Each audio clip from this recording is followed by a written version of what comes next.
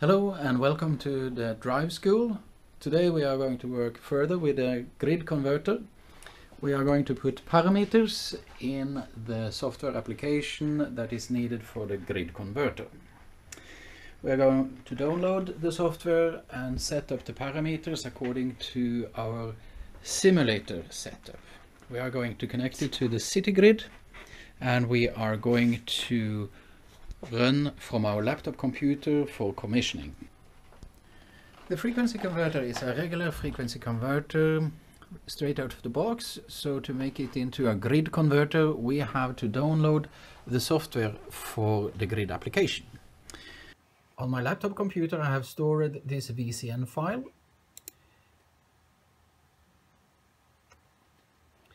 Here under application that I have stored, I will find the latest version, which is 106 version. Okay, and start.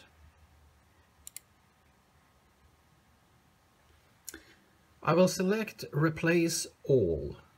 That means everything application wise should be overwritten with this application. While the application is loading up, we take a little look at the nominal values of this grid. The local city grid is a 420 volt AC grid. The frequency is 49.97. Why not 50? Because there is some load drooping going on on the city grid here. The transformer that I have got here have a ratio of 440 to 400. It's a 30 degree phase shift in this uh, transformer. The cosinus phi in the whole system is about 0.85 and the drive that I'm using is a drive 40 ampere. License code 9314 will only work with the serial number for this drive. The battery in use have a nominal of about 730 volt DC. And now we are going to put these nominals into the drive so it knows what kind of grid and battery we have got. Now that the application is uh, downloaded, we open NC Drive, which will have only the default parameters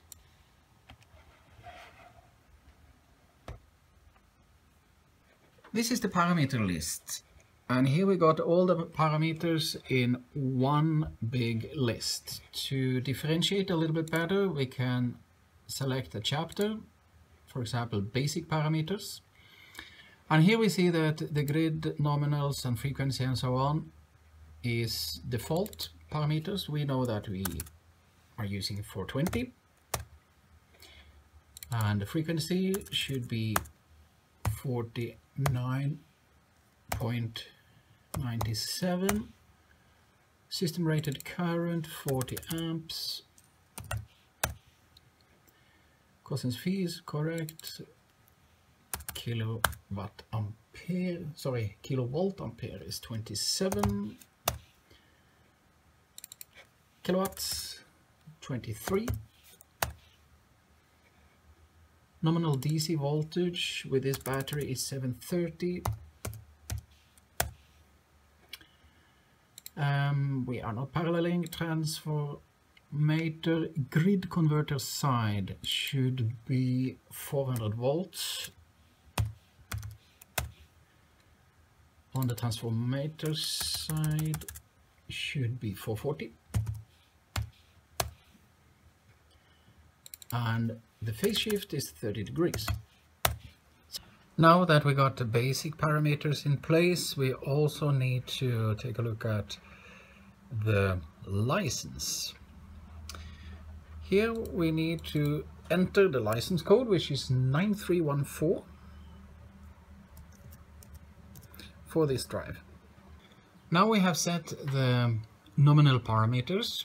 We have to take a look at the microgrid mode and we change it from active frontend to UGrid mode.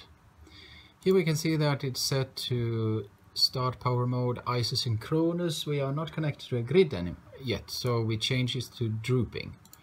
Here you can uh, select between several modes, but basically we are using the drooping and the isosynchronous. In the chapter for grid voltage PI regulator, I check that it's turned off. It's turned off when it sits 0.1 there. It's turned on when you go 0.2. But for commissioning now, without a grid, I want it to be turned off. Otherwise it will affect my voltage, so I will be confused what's going on. Also the field bus we will take a look at later, but I will put in the numbers, the ID numbers, so that my screen will show what's going on in the process. So I copy this from a previous project, so this way we'll come back to how it's done.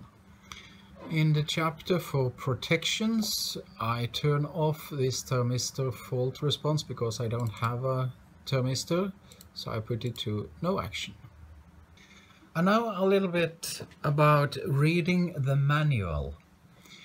Uh, there is a good manual for the microgrid application and here for each parameter you can find an ID number.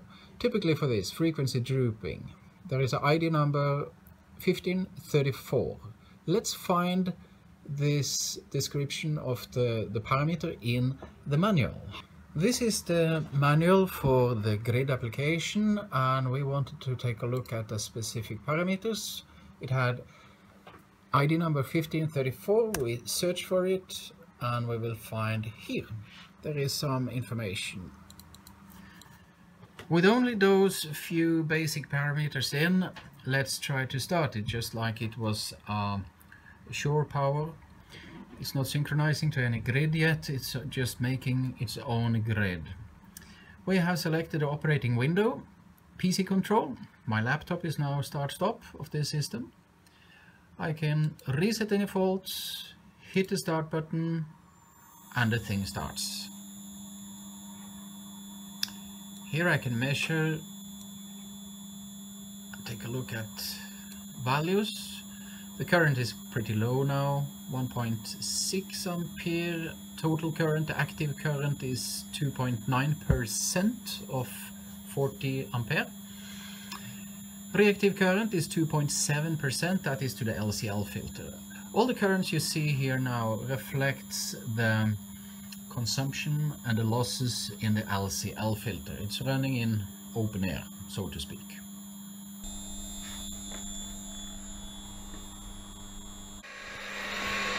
Now we got a grid that is powering a consumer. If we look at the voltage, the voltage is 418.5 we ask for 420. Let's see what happened when we activate the PID regulator.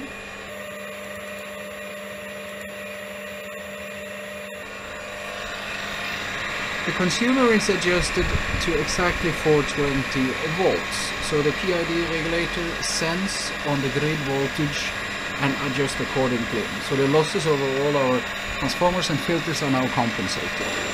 Thank you.